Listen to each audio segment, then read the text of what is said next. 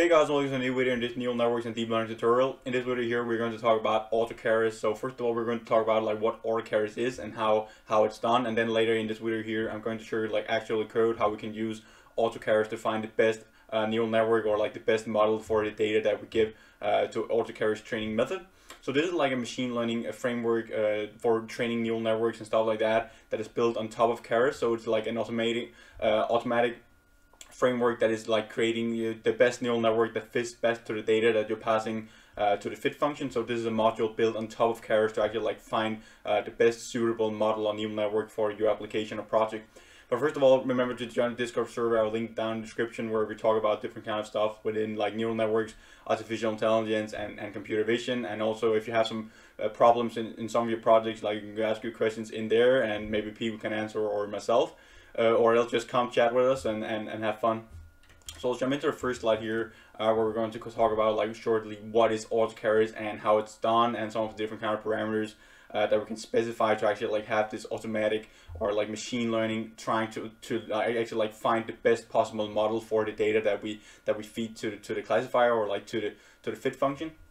So machine learning is used to find the best model and parameters. So when we're training uh, in AutoKeras or like in Keras, AutoKeras here is just like it tries to find the best um, the best model, the best layers, the best parameters by tuning by tuning those epoch per epoch, and then it's using machine learning to actually like find the best model and parameters by just, just tuning them, seeing like in what direction is our accuracy and our loss going, and then there it's tuning in, trying to uh, try other models out, and it's also using transfer learning. So sometimes it will just load in pre-trained models, try to do transfer learning on that pre-trained model on the data that you pass to uh, pass to the fit function and the training process and then it just tries to like use transfer learning machine learning and, and, a lot of other different kind of stuff to find the best model that fits the best um, that fits the best to the data that you just, just pass it to.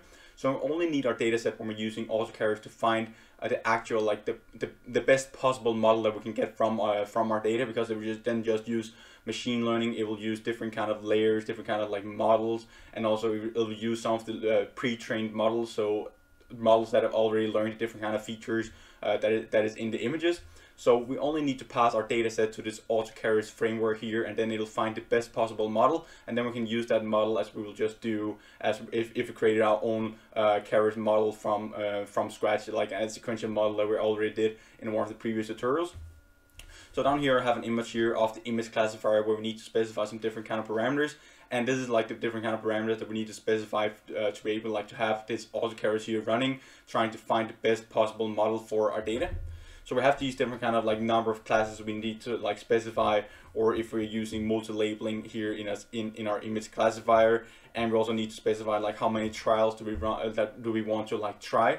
So the maximum trials here is uh, is just equal to uh, 200 here as default. So it's how many different kind of models uh, it, it, it wants to try like like like let's for example, for example say we want run one training process with 10 epochs uh, that that will be one trial. So we want we want to like tune the parameters uh, try different kind of layers for for that training process. And then the max number of trials is just like how many times we want to do that. So we have one training process and then the number of training processes that we're actually running. And then inside of one training process, we have the number of epochs and stuff like that as we already did. So this is a really nice framework to actually like use machine learning to find the best model. So you just give it the data, then you just uh, go for a cup of coffee or stuff like that. Just wait a couple of hours if you have a really large data set. And if you just specify like the maximum number of trials and stuff like that, it's just using machine learning to find the best possible model uh, for the data that you give to it. And then we also have some different kind of other parameters here, which just like kind of like default parameters and stuff like that. So we will mainly just focusing on like the max trial here and the metrics and the losses that, that we want to use uh, in our example. So we're not just Google Colab here and I'm going to show you how we can actually like use AutoKeras uh, with an example. So we're going to load in the MNIST dataset that we just in the previous video uh, here in this deep learning and neural network tutorial. We created our own neural network from scratch, trained it on the MNIST dataset and, and, and went over like epoch per epoch what it, what it did in the training process and then we did predictions um, at the end uh, on data that it hadn't seen before. So if you're interested in like knowing or like learning how we can actually like create a neural network ourselves from scratch and then train it on a data set, make sure to check that tutorial out uh, first because in this tutorial here we're just going to use AutoKeras here to actually like use machine learning to find the best model for our data. So we're just going to take the data, the MNIST data set, and we're going to just pass it to the AutoKeras function, and it will do everything for us, and it will just return the best model with the best parameters that we can then use to do predictions on, uh, like do predictions on new data that the model hasn't seen or trained on before. First of all, here we're going to pip install AutoKeras here in Google Colab because this is not already like uh, pre-installed. So we need to use this um, pre uh, pip install here AutoKeras in the start to actually like install it. So we'll do that here and we can see that I've already installed it and we can see that the requirement is already satisfied. So I'll just close this one here and then we need to import the different kind of modules and frameworks that we're going to use. So we're going to use NumPy, we're going to use TensorFlow here, and we're going to load in the MNIST dataset here, which is already like uh, pre-built into Keras. And then we're going to use a sequence here, and we're going to import AutoKeras here as AK. And then down here, I'm just going to run this blob of code so we actually like load in the modules and frameworks that we're going to use. And then down here, we need to specify that we, that we want to use the GPU for training um, in this example here as well. We could also use the TPU as, a, as I already uh, did a video on, like how we can train neural networks here in, in, um, in Google Colab with Google's TPUs. So make sure to check that video out as well if you want to like speed up your training process and you want to train on Google's TPUs instead of the GPU. But this example and this um, in this uh, application here, we're just going to use the GPU. So when I run this program here, uh, it will run like the TPUs available. So we have one GPU available here. And then we can go down here and actually like extract the data here from the MNIST dataset. So we're going to call this mnist.load data. And then we just store it in this X train variable and the Y train variable here. So we have our training training data here. And then we will also store the test data here, which is the data that we're not going to train on and we're going to use to do actual predictions at the end. And then we're just going to print out the shapes here of the training data and, and um, both for the data, uh, actual images and also for the label. So we can see we have uh, 60,000 images in this data set here and it's and the images Im image dimensions is 28 by 28 and we also have 60,000 labels here which corresponds uh, to the images here in the X train variable and then we also can just see like the, the Y train uh, what what is actually like in the Y train um, labels here so if I run this blob code here we'll load in the data set split it into to the test set and the training set here. And we can see here that the first three samples of our, our of our like training set is 504. And we can also see here for our Y train is 50419 uh, in this case here. And then down here we can actually like specify this image classifier as I showed you in the slides, where we're just going to to use this AK from the AutoKeras, and then we're going to have this image classifier because we're going to initialize the image classifier. So there's also some other different kind of functions if you're going to use uh, image regression or something like that with AutoKeras, then you will need to specify uh, image regression here instead of uh, image classifier. And then the only parameters here we're going to specify is the override here equals true. So when our neural network is training, it will just override the previous neural network or like the previous uh, weights and, and different kind of layers in the neural network if it finds something that is better. So we specify this um, this uh, parameter here override equal to true, and we also specify this max trial here to be one uh, just uh, for like uh, demonstration purpose. You can choose this like to whatever you want, and the default parameter is 100. But in this case here, we just want to run it like we want just want to run one run one trial. Uh, but if you if you wanted to like have a really large data set where you want to find the really like the, the best possible neural network, you will probably have to like run uh, at least like five to ten uh, trials where it just like tries to find different kind of layers. It will try different kind of uh, transfer learning methods, and it'll just use machine learning to find the best possible model for that data that you just give it. It will of course take a, a bit longer time, but it will do everything for you, and it will just find the best function, and you don't have to do anything except uh, given it time. And then now here we can specify this fit function here as, as we already do um, in Keras. But in this example here, it takes the images here and then it takes the labels here uh, that it wants to train on. And, and as you can see here, we don't need to specify epochs. We can specify epochs, but as a default, it will just choose uh, 1000 epochs. But in AutoKeras here, it will actually like uh, use machine learning to know like when to stop. So if the loss or like the accuracy doesn't increase or uh, or increase, then it will actually like just stop the epoch and try some other different kind of parameters. So it's really nice and cool feature here where it's using machine learning for all of the different kind of parameters, also the learning rate uh, and stuff like that. So you don't need to specify anything. It'll just use machine learning to find the most optimal parameters and then tune those parameters while training and doing these different kind of trials. So when we run this uh, blob code here, it will actually like train um, the neural network here. and we can see that we just do the same thing as Keras here, but this is all AutoKeras and it's just like a framework or a module built on top of Keras. So it uses the same kind of functions, but to use this actual like AutoKeras here, we use this image classifier here, uh, which will actually like initialize the image classifier, which which, do, which does all the different kind of machine learning methods and techniques while training your neural network.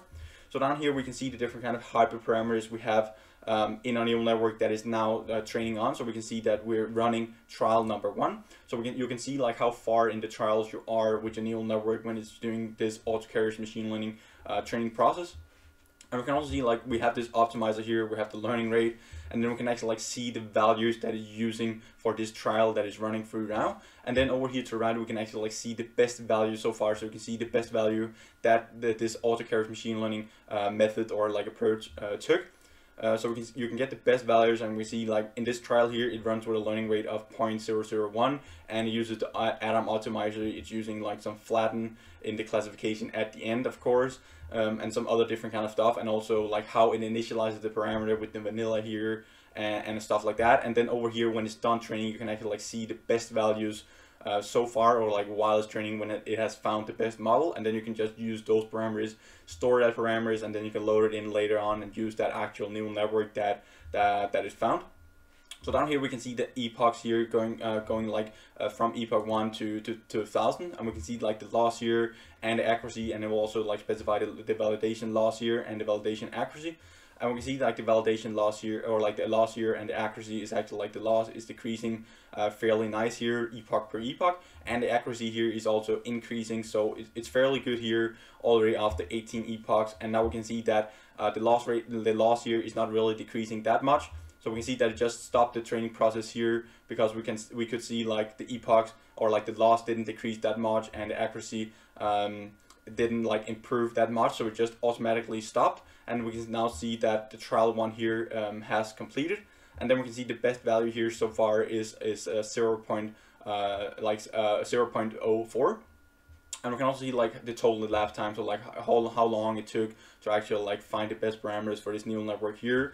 And then it just like runs through uh, this stuff here again. So our neural network is now done training and we can see here at the end here at the last epoch, so epoch 8 out of 8, we can see that we get a loss of 0 0.03 and we get an accuracy of almost like 99% accuracy. So this is a fairly good model and it only took like uh, two minutes here, the total elapsed time, it only took two minutes to train on these 60,000 images here on the GPU here in Google Colab. So this is a pretty good, nice model and it already like found the best layers and the best parameters and stuff like that and like the, the different kind of parameters they can specify uh, when you're creating neural networks and then it found the best weights for each of the different kind of uh, trainable parameters that we have in the neural network. So when it's done training here, we can actually like go down here and call this CLF dot export model. So we're actually like exporting the model here from AutoKeras to just like an, an ordinary model here. And then we can, from Keras, we know that we can call this summary here on the model. So we can actually like see the different kind of layers that it found, found to be the best and also the number of parameters that we have in a neural network that it has trained on and the best parameters that it had learned while doing this auto AutoKeras training process here with machine learning. So if I run this block of code here, we can see we get actually like a summary of the model here. So we can see like different kind of layers that it chose to be the best and also the number of parameters. And we can see like how the shape of our images here gets downscaled uh, and, and like change, uh, change dimensions while going down here because we have some max pooling layers and stuff like that. But we can see that first of all here we have an input layer here where we have our image here 28 by 28. We have no parameters. First of all, it can it casts to float 32, so it uses uh, float to, uh, 32 values um, instead of the ordinary ones that we pass it uh, as default. And then it expands the last dimension. So we can see here it's instead of 28 by 28, we will now have a 28 by 28 uh, by 1 here because we have one channel here because we're operating with uh, grayscale images.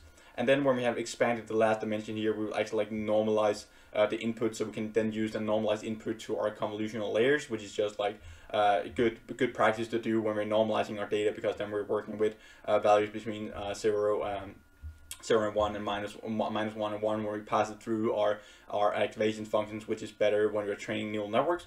And then it specifies two convolutional, two-dimensional layers here, where we just have these layers here, and we have uh, 32 uh, kernels or filters in the first layer and 64 in the second layer. And then we can also see the number of parameters that we have for these two convolutional layers.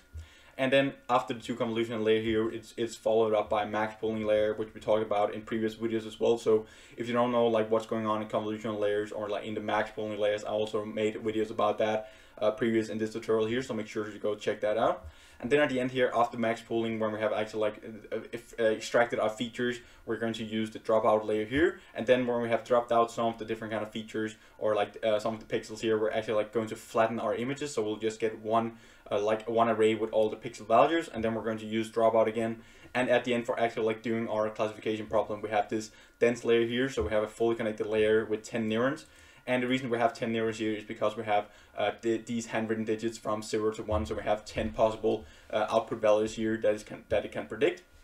And then we can see down here that we have the total parameters here of 110,000 uh, parameters. And we can see that we also have uh, kind of the same number of trainable parameters here, expect, uh, except of three parameters here, which is non-trainable uh, doing this neural network training here. So if we go down here and actually like want to plot what is going on here um, in the images to just to show like the images and also like how good our neural network here performs by just using AutoKeras. So the only thing we did was just passing our data to the AutoKeras function and it did everything for us. We got the model, we could extract the model, we could do a summary, we can see like what is going on layer by layer, we can see the number of parameters, how complex is our neural network, and then we can just go make predictions with that neural network that it created by using machine learning. So if we go down here and import matplotlib here, and we just have this function here to actually like plot uh, the images that we have in our in our test set. So if we go down here and, and plot the first 10, uh, 10 test samples here, we can see we have a 7, 2, 1, uh, 0, 4, 1, 4, 9, 5, uh, 9 here, uh, 5, 9 here in, in the end. And then we'll go down here and actually like do predictions. So when we want to do predictions with our model here, we have the CLF model here, which is the best model that AutoKeras found and then we call this predict function here as we all as we all always do in Keras and then we want to do predictions on like the first uh, uh, six samples here but let's just make it 10 here so we can see like the actual like corresponding to the to the images that we just plotted up here so if I run this function here, it will now make predictions and we can see that these are the predictions for these images up here uh, for the neural network that we created with AutoKeras here. So we can see that it predicts the first image here to be a 7, the second image to be a, a 2, and 1, 0, 4, 1, 4, 9, 5, 9. So all of these values here is predicted correctly and it actually like predicted the, the exact uh, the exact like images or like handwritten digits that we plotted up here because we have a really good accuracy and really low loss with this neural network that we created with AutoKeras, uh, which was done automatically uh, uh, with machine learning. And then at the end here, if we just go down here and evaluate our model here that we have created on the whole test set uh, with both the images here and the labels, then if we run this function here, uh, we can see that it now evaluates our model that we have created, and we can see that we get a loss of point, uh, 0.04, like around 0.04 and an accuracy here of, of almost like 99% accuracy here. So it's a pr pretty good model when we evaluate it on our whole test set that our neural network hasn't trained on before.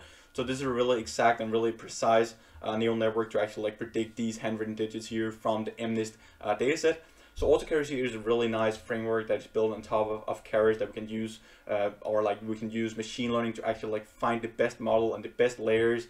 And also if we want to do transfer learning then it also uses transfer learning loads some one of some of the like the pre, uh, already like pre-trained models into it. And then it does fine-tuning and transfer learning on the data set that you pass to it and then you can just use that model to actually like do predictions after it had trained by using machine learning. So thank you guys for watching this video here and remember to subscribe button and bell notification here under the video. And also like this video here if you like the content and you want more in the future uh, I'm currently just doing a computer vision tutorial in C++ with OpenCV, so if you're interested in that and also like want to know like how computer vision works, and then later on we're going to combine it with this deep learning tutorial here, so we combine like computer vision and deep learning and see how they work together. So if you're interested in that computer vision tutorial, I'll link to it up here, or else I'll just see you next video, guys. Bye for now.